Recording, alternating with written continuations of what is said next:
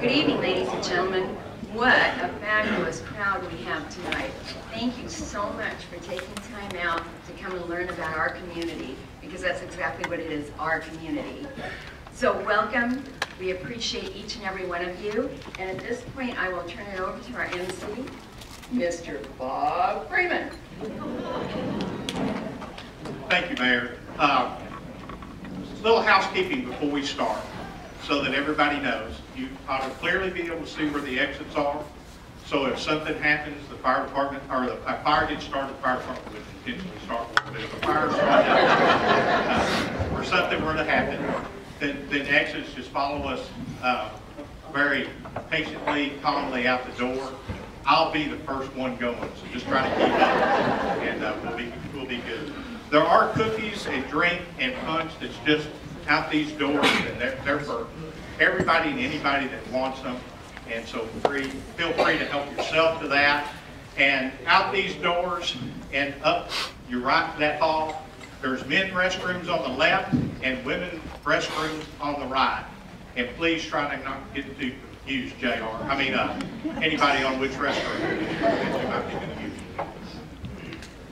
My name is Bob Freeman. I want to welcome you. This is the 24th year that the city of Euless has held town hall meetings uh, within the city. So we were open and trying to be transparent before open and transparent was even popular.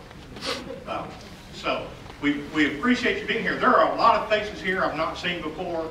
Uh, and so we're going to get to know each other hopefully tonight. And I'll tell you, they, they're going to make fun of me, but this is my pat deal. My name is Bob Freeman. I am the only Bob, I believe, I was the only Bob at the police department for 35 years. I think I'm the only Bob still in the city. I wouldn't swear to that. But it's real easy. If you call the city of Euless and you need something and you can't get anybody else to help you, and you say, let me talk to Bob, I promise you, somebody will send you to my phone or my desk. And that's fine, and that's great, and I love to try to be involved and try to help you. So that if you remember, if you don't remember anything else tonight, remember that. The mayor tells me it's difficult to spell the name, but it's the same forward and backwards. D-O-B. Pretty, pretty easy thing to do. Uh, let me introduce the staff up here. And I won't do it in order, so I'm going to ask everybody that's on the panel up here to please raise your hand. We have Mayor Linda Martin, Mayor Pro Tem, Pro Tem Tim Stenifer, Councilmember Jeremy Tompkins, Councilmember Eddie Price, Councilmember Linda Eilenfeld, Perry Bynum, Councilmember Perry Bynum's not here tonight. He's got some illness in his family, and he is taking care of two of the lady loves of his life, and so our thoughts and prayers are still with him. And Councilman Zimmer couldn't be here because he's on vacation. City Manager Loretta Getchell, our Assistant City Manager Chris Barker, the guy that trained me. So everything that's good, give him credit. Everything that's bad, give him credit. Chief, your Chief of Police, Mike Brown. Fire Chief Wes Rhodes. Uh, Ray McDonald, Planning and uh, Parks and Recreation. I was planning and. I got a promotion. And Mike Collins, our Planning and Development and and last week, he won more awards than they are going to give out at the Oscars. I will just tell you that. Throughout Tarrant County, somebody was giving him an award last week. And so the building that's under construction, that's just Mike's office. We had to build a bigger office so that there would be a place to put all of the, the accolades that Mike. It's true, Mike. You know it's true. Uh, and then around the room, and I normally will try to mention them all, but I'm not even going to try to mention them all. If you are a city director, staff member, somebody with the city that's here to, number one, hear what, what our citizens want and think, but are here to help them, would you just kind of raise your hand and wave just a little bit? And you'll see they're, they're all over the room. So, uh, Lieutenant Hadley, he's trying to be incognito, six, seven, 300 plus pounds in a blue uniform, but he he rose, rose, rose, rose his hand, raised his hand.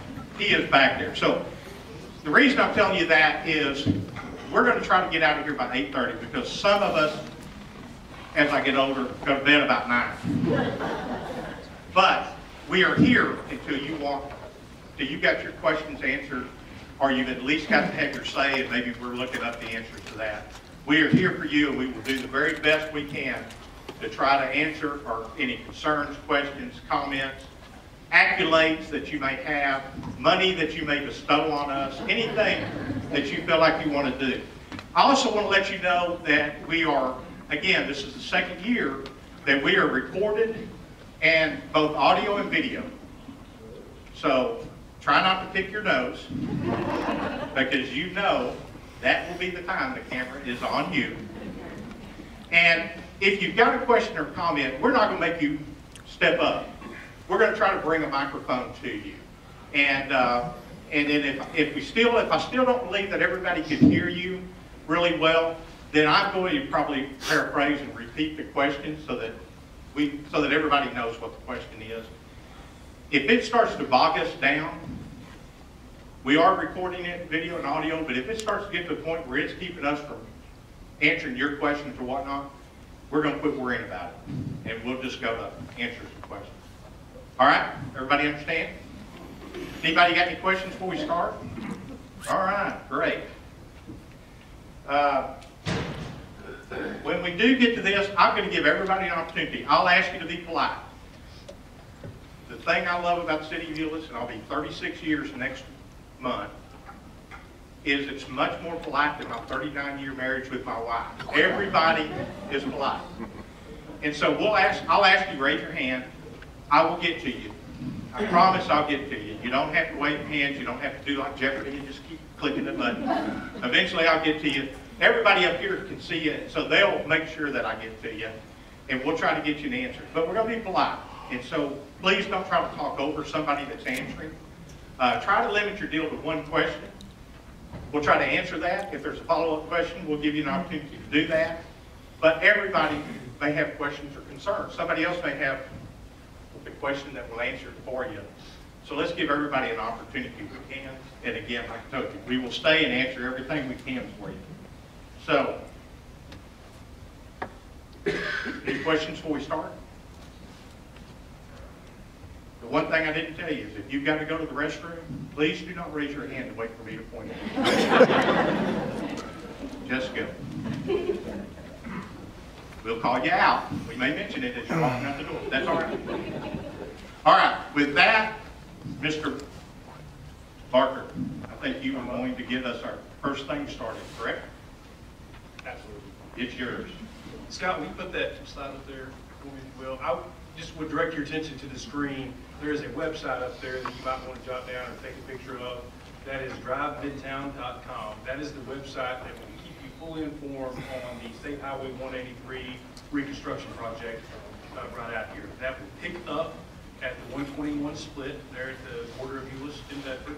It will head eastward all the way through our city and then actually goes into Dallas as well. And want to give you just a quick update on where that project is. I know we're all aware of it because you can see things. Is that working? Look at that. Because you can see things out there as you drive that corridor uh, every day. So let me give you just a couple bullet points on where that is. Again, the project is reconstructing the freeway, the existing freeway and uh, service road lanes and adding two managed lanes or toll lanes, one in each direction. So one additional lane in each direction, that is a toll lane. Uh, We are not losing any of our existing counts of three lanes in either direction or service roads in either direction. Currently, right now, uh, as you're probably aware, they're acquiring right-of-way. The reason I say you're probably aware of that, if you've noticed, the Main Street, the, uh, on Main Street, the Wendy's has closed. Uh, You'll also notice the Long John Silver's on the eastbound service road has closed. Those businesses have closed because they have been made an offer by TxDOT uh, for their business because of how it is affected by the project, and they've settled with TxDOT, and it's, in, in their particular case, as part of that settlement, they're closing their business. Um, TXDOT is working all throughout the corridor, acquiring right-of-way, and people always ask, you know, what's going to be left and who's leaving and those things. We know, obviously, Wendy's and Long John Silver's are, are already closed. Both of them have expressed a desire to try to stay in the area, but at this point in time, we don't know where that may be. Um, If you were up there on the eastbound service road uh, near Main Street, the McDonald's uh, will be remaining. It may look a little different, it may have some modifications done to it, they intend to remain. The Waffle House and the Taco Bueno will also remain. The Whataburger, in his our understanding, will not remain. And I believe, Mike, they've expressed interest in staying in this area and in the community as well. So they're going to actively be pursuing uh, a redevelopment opportunity, hopefully in that, in that same area. Also, the Para Car Care right there on the corner, uh, about the triangular shaped lot next to Taco Bueno, uh, will be staying as well. What you're going to notice in early 2016 is they're going to begin shifting traffic around to allow for utility relocations. And the goal in this project is they will do all the relocations of water, sewer, drainage, electric prior to starting actual roadway construction. So again, they're acquiring that right of way now. They will then begin shifting the utilities. And we really think that the utility relocation work, we're being told, will start in early 2016 into the spring and go on into the summer. As part of that utility work, the eastbound State Highway 183 off-ramp to Ector Drive goes away. So if you are eastbound, you can no longer exit directly to Ector Drive. You will have to exit at FM 157 and continue on the eastbound frontage road to Ector Drive. You'll still be able to turn and come under the freeway uh, here to City Hall. The other thing that everybody's going to notice is the pedestrian bridge going right over here to the junior high is going to go away as well. And they will be taking that bridge down literally as soon as school is out uh, this spring. Uh, To get that, obviously they have to work partly on the school property, so they're trying to do that when the kids are out of school. And they'll be providing a an alternate pedestrian access route to that bridge, but I do want you to know that pedestrian bridge does not go back. Um, There's been a lot of questions about that. The city, uh, that, that's not part of the city decision, that is a TXDOT decision, but the city has worked with the school district and TXDOT to, uh, try to figure out some different good pedestrian safe routes to school for the children. And also improve, if you're familiar with that school, there's a lot of folks that drop the kids off and they use the service road as a drop-off lane. and They actually park on the service road. It's kind of a little bit of a dangerous situation. So we're going to be doing some improvements, the state's going to be doing some improvements on the school district's property in conjunction with the school district to make that a safer and better situation. The big one that everybody always wants to talk about is the Main Street Bridge. And that bridge will be actually completely demoed and go away and will be rebuilt. And it will, if you're, if you're familiar with that bridge now, if you're traveling either uh, north or south on Main Street, there's a slight jog at that bridge until you, until you uh, meet up with the other lanes. That jog, if you will, will go away, and that will be a straight shot when you're traveling on Main Street with the new bridge. In addition, there will be some Texas U-turns on that bridge. Uh, That bridge is of such an age that it is impossible for them, that you've seen in some of these other projects, where they tear down portion of the bridge and rebuild, and then they leave a portion open, portion open. That just will not work on this aging bridge. So it will actually be completely shut down. And that time frame, they are telling us to expect as much as 18 months for that bridge to be out of service. As of today, they are scheduling that for the spring of 2017, so roughly a year from now. And the city will be working with TXDOT and Southgate and many of our local businesses and the Church is infected, obviously, on just alternate routes uh, to be able to get places during that, during that time. Uh, That also will affect our police and fire as they respond to emergencies. And both the chiefs have been already planning and working on that, have briefed council. If you guys want to talk about that a little bit later, you can. But we're aware that that, obviously, there's a fire station there on uh, South Main Street. And so with that bridge out, that's going to change how they uh, respond to different emergency situations. But I want you to know that we're already planning on that well over a year in advance and how to, how to mitigate that, to make that situation uh, the very, very best that it can be. One important note is that they're going to work on the frontage roads and the main lanes at the same time. And that is in an effort to be in the corridor for the smallest amount of time and make the improvements as quickly as they can, finish the project and get out.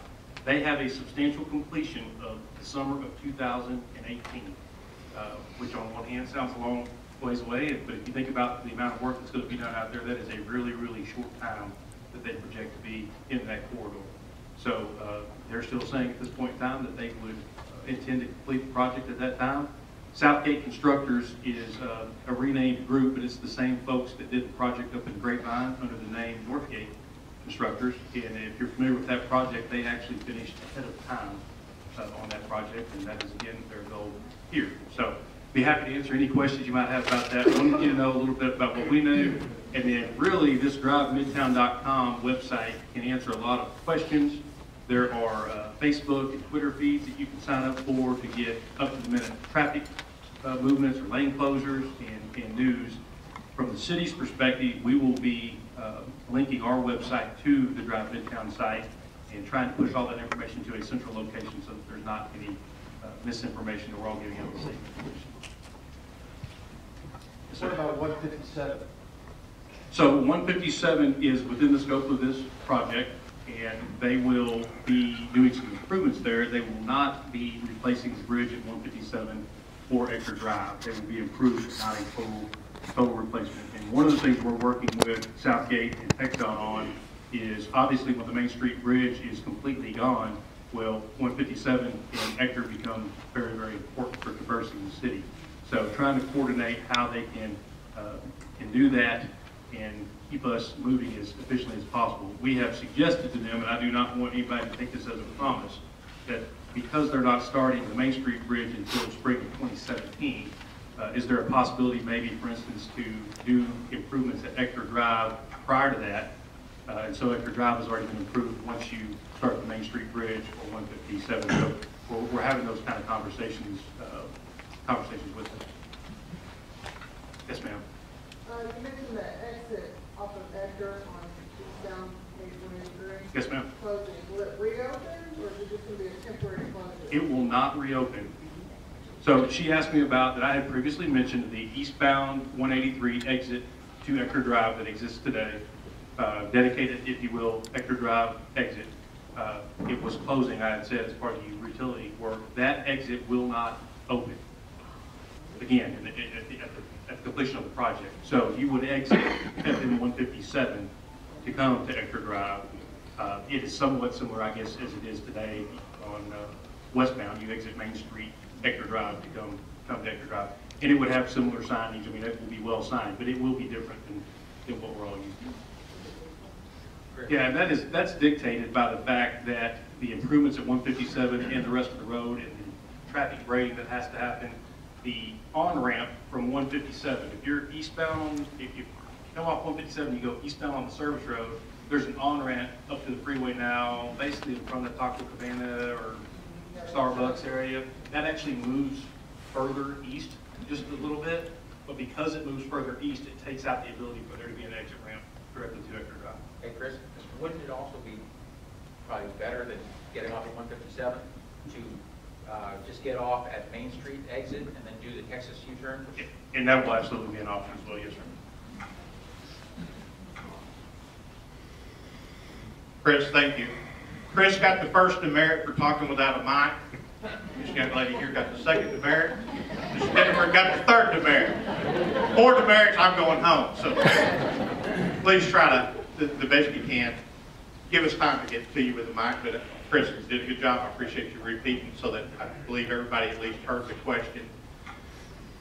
There are people standing at the back, especially ladies standing at the back. There are plenty of chairs that are still down here, and so it- you will not hurt our feelings if you just walk right on down here, wave as you're coming, find you a seat, get comfortable. I don't think we've exceeded, fire marshal, we have not exceeded the occupancy load. That's because I've got a guy standing back there covering it up, so. I know we're good for that, Tim. So, now, Chris, were you just not talking correctly into that mic? Is Mike Collins going to show you? Well, that's why he got all those awards, because he's. We have another short presentation, 30, 40 minutes, a couple hours, I'm not sure exactly how long. Mike Collins, Plains is going to tell us about all the development that you might be seeing going on. Mike? Thank you. Is this working? Good. I figured it out. Yeah. If y'all have been attending or keeping up with council agendas over the last couple of years, your council's been very, very busy with approvals of different zoning ordinances impacting different developments, site plans that enable these projects to be built. It's just an incredible time from a development standpoint in this community, and perhaps one of the things that makes it so cool is there's development activity everywhere. We've got residential development throughout the area south of Airport Freeway. We've got small business expansions with businesses that have been here 10 years, that have been here 40 years. Uh, Sometimes it's kind of easy to focus perhaps on that Glade Parks retail development along 121 that we'll actually begin our presentation with uh, this evening. But, but one of the take-home messages, it's really, really cool that it's just across the board in retail, in residential, in commercial, and small business growth, and it's just a real, real exciting time to be here. So I get the privilege of trying to give you a little bit of overview to give you a flavor of what that activity is.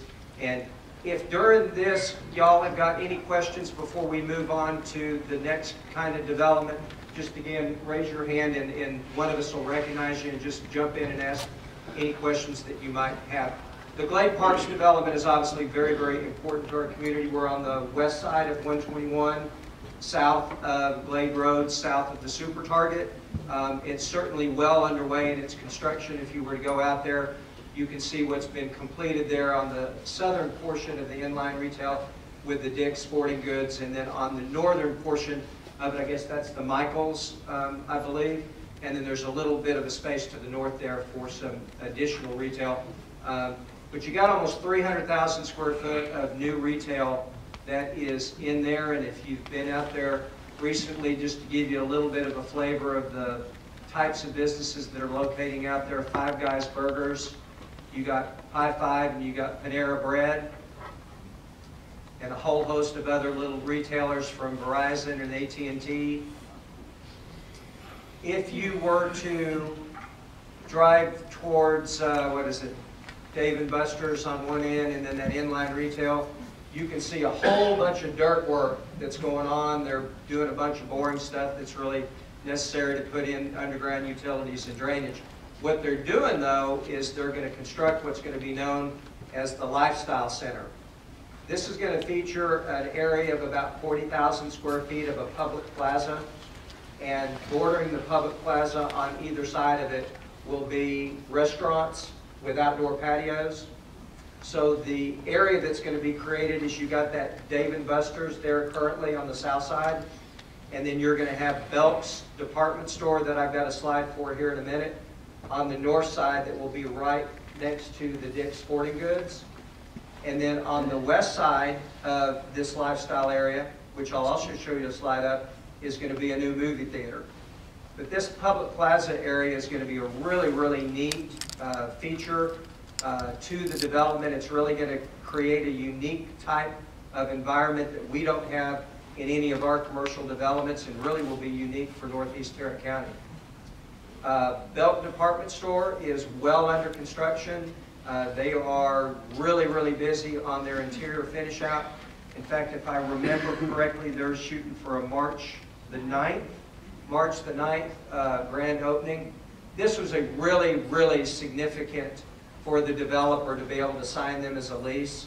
They were actually looking in the 35W corridor north of Fort Worth in the Alliance Airport corridor. Belk chose this area because they, of the economic development potential of the 121 corridor and this area of northeast Tarrant County. And that really, really was a game changer for the developer in being able to secure some other end users that perhaps would not have gone here if Belk didn't make the decision to locate their department store here. As I mentioned, on the west side of that lifestyle area is going to be a new theater. I believe the pronunciation is Cinépolis. I've not been corrected by anybody that that's not. They're a company out of Mexico that's got theaters really in other parts of the world, and specifically the United States. They've got locations in California, Arizona, and Florida. They've got a location already approved in Dallas at, is it Victory Park in the American Airlines area, whatever. This is their second location in Texas that's been approved. It's going to be this hybrid theater, 12 screens, I think is what they're going to be doing. Half of it is going to be the dining experience that you can order your meal and they'll serve you whatever. And then the other half will be you can reserve your seat in advance and buy a ticket and like me, you just want to go in and watch a movie. Um, So it'll be, it'll offer both those things for you. And then one of the newest restaurants that will be built there is a um, restaurant called Lazy Dog Restaurant and Bar. They've got their newest location that's been constructed is um, in Addison off of the North Toll Road. Um, Really, really neat restaurant. I would compare the quality of the food to a Cheesecake Factory, but not necessarily the prices of Cheesecake Factory. Um, What they're capitalizing on, there's a couple of restaurants in, that are coming into the North Texas market that are catering to folks that want to bring their pet, in this instance, want to bring your dog to the restaurant. But let me be clear, you ain't bringing your dog inside of the main restaurant. What they've done here is they've segregated an outdoor patio area from the main dining, and there's all kinds of things that they do to make sure that those things are separated. There's a whole bunch of health things that they've got to follow with the pets um, able to go into the outdoor patio area. But that's going to be a really, really nice addition to uh, Glade Parks, and, and again, really, really good food.